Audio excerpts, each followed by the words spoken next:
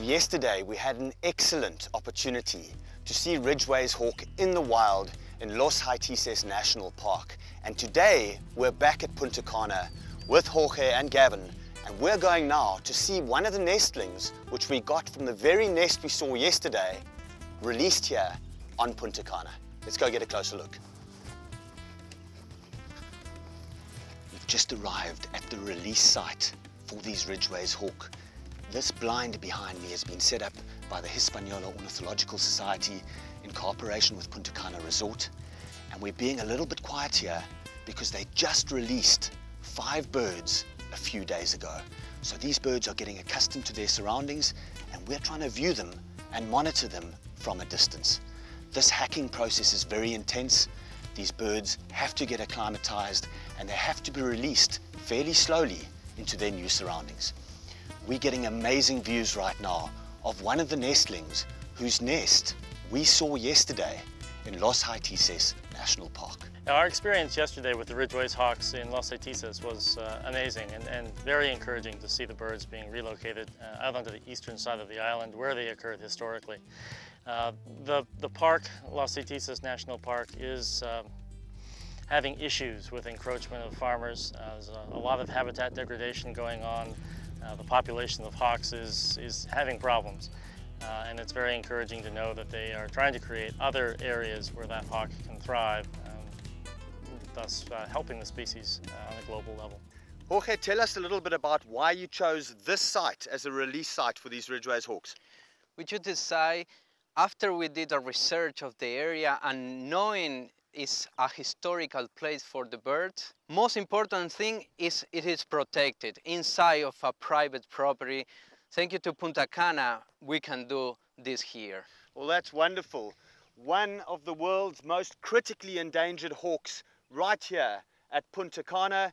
Three birds released last year and five birds released just a few days ago right here at Punta Cana. This is going to be great, establishing a core nucleus population where hopefully in three to four years' time, these birds will be breeding here again in this part of the Dominican Republic.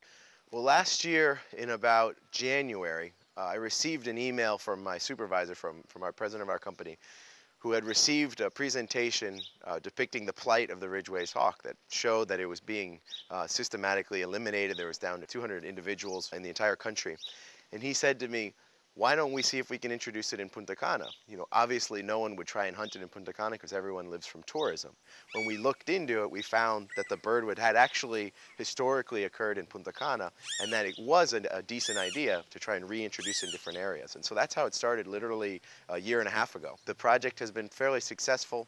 It's gotten a lot of attention for the Ridgway's hawk here in the Dominican Republic, which is important. You know, Punta Cana Resort and Club is a pretty high profile company. And so to be interacting and having a project related to these Ridgway's hawks is really kind of a high profile activity for these hawks, which really hadn't gotten a lot of attention previously. I'm so glad because, for example, my grandchildren came and they came to see them the other day and watch them. They were thrilled. And now we're expanding the uh, program.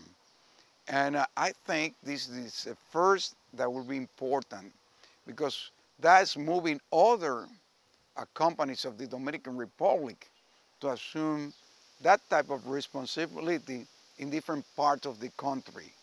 And I think that's the most important part because we could try to do as much as we can, but it will never be enough. But if many different companies take the responsibility and start doing the same thing, then we have a huge opportunity to protect endangered species of the Dominican Republic. They're important because preserving biodiversity and unique species is important, not just for the local people, but for the planet. It's a similar hawk to, say, red-shouldered hawk or broad-winged hawk, but it's uh, actually more colorful than either of those species. And it's made a living for many hundreds of thousands of years here on the Dominican Republic. It'd be a shame to lose it.